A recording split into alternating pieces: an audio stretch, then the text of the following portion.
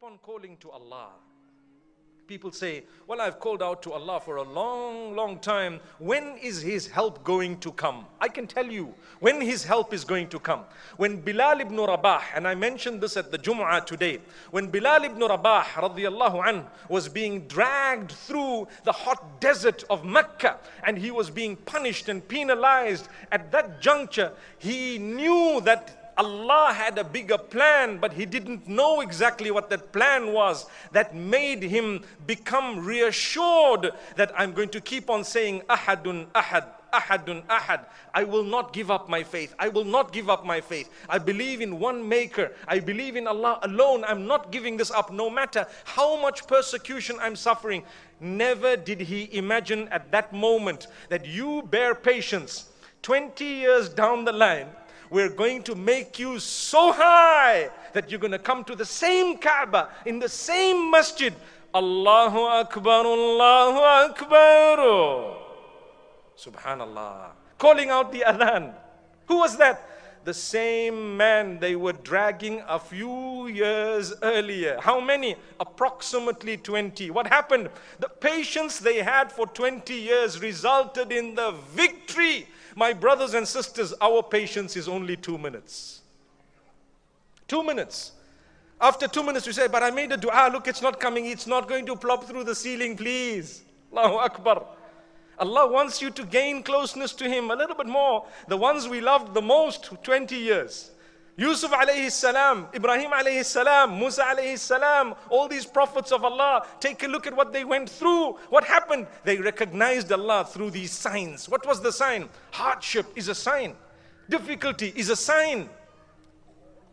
We've come on earth in order to prove ourselves to Allah. That's what it is. Therefore, test after test after test after test. Just like when you go into a school, you're not going for to pass your time, you have to study, you have to work, you'll have exam upon exam, a difficult one. Once you pass that one, more difficult. Once you pass that one, one which is even more difficult, then you get a degree, then you get a higher degree. The higher you go, the more difficult it becomes. You consider it a challenge. Why? You want a certificate of this world in order to get into a job of your choice. We need a certificate of this world in order to get into Jannatul Firdaus. The tests will be tougher and tougher. The closer you are to Allah, the bigger bigger the tests become. So when Allah has tested you, thank Him and thank Him again. Sign of Allah is the test that He puts in your life. You have a health matter. There are people who have a bigger health problem, but they are happy with Allah. They are happy with Allah.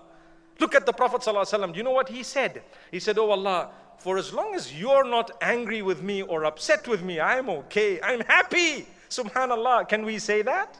May Allah make it easy for us. So Allah says this one of the signs is He created you, all of you, from one source. And then you beamed across the globe. Don't forget that. Let it get let it make you get closer to Allah through understanding what your relationship is.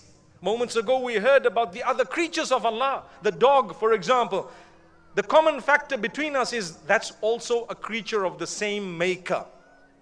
So when you, so, when you show compassion towards the other animals, it goes to show you respect the one who gave life to these animals.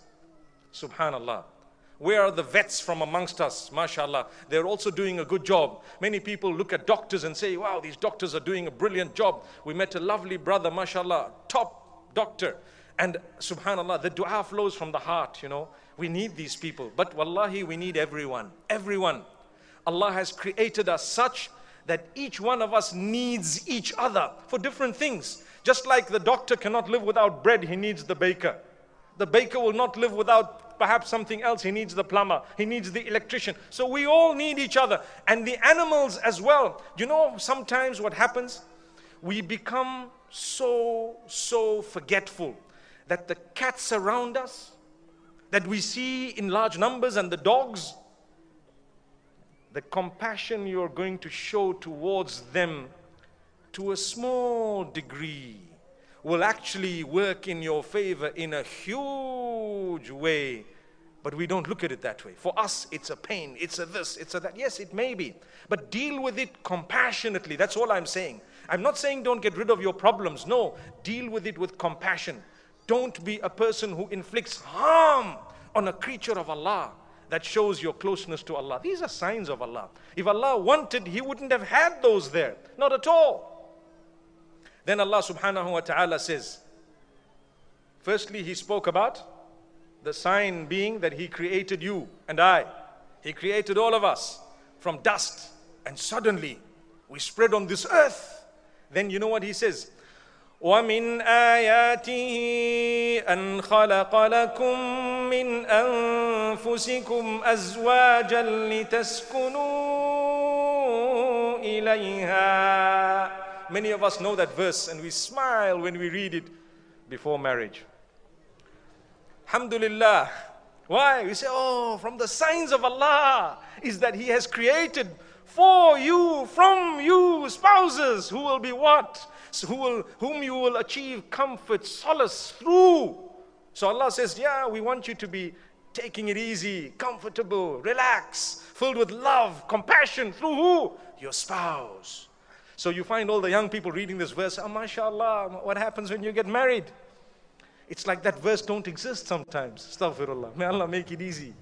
May Allah grant us happiness. We need to revisit who is my spouse?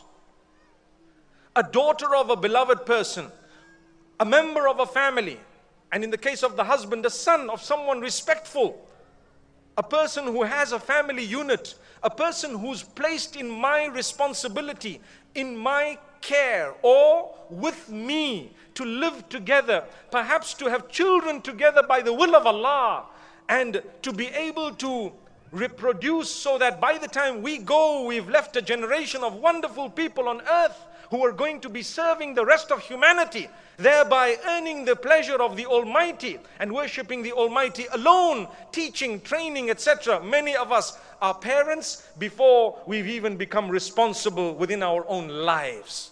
So therefore, we struggle. But Allah says, you know what? That moment of marriage is such that automatically at that moment there is something that happens. Listen to this. وجعل بينكم مودة ورحمة He has put between you at that moment something called mawadda, which is a very high level of love, and something called rahma, which is the mercy. You feel connected to your spouse. Remember, I said here initially, right? Right at the beginning, okay? It's up to you to nurture that, to grow it, and make sure you don't lose it, but rather build on it such that 10 years later, 20 years later, and wallahi, there are so many of us who can say, I'm far happier, far more in love with my spouse today than I was 10 years or 20 years ago.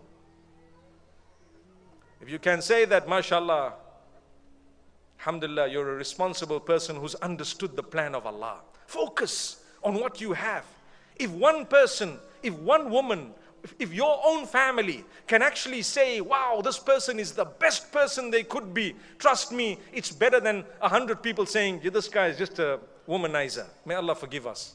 This guy is just a this and a that. Come on, be responsible. It's a sign of Allah. It is sacred. Allah says you should be getting closer to me through your connection with your spouse. Subhanallah. Together, you should remind each other about Allah. You should think for yourself. Imagine the signs of Allah. The embryo, the fetus, childbirth. All of those are topics on their own, but they are signs of Allah. What happened? Ask those who don't have children, they will tell you how desperately they are trying. May Allah make it easy for them and bless them with offspring. And then when we have these children, guess what? We take it for granted. How do we take it for granted? It's like nothing ever happened. We don't even spend time with them. We have no method of speaking to them. We have no connection to them. We have no communication with them. And we want to gain closeness to Allah. Allah says, that was a sign. Come on. That was a sign. My brothers and sisters, the signs within us that should be moving us closer to Allah are so many, we haven't even prayed for them. We haven't ever asked the Almighty for most of the things we have. You know, when we pray to the Almighty, we ask Him, Oh Allah, grant me this, Oh Allah, grant me that. What happens? We start crying. Like I said, we want the answer in two minutes. But Allah subhanahu wa ta'ala has given you billions of things without you asking. Look at your eyes. Today you're looking at me, mashallah. I'm looking at you, subhanallah.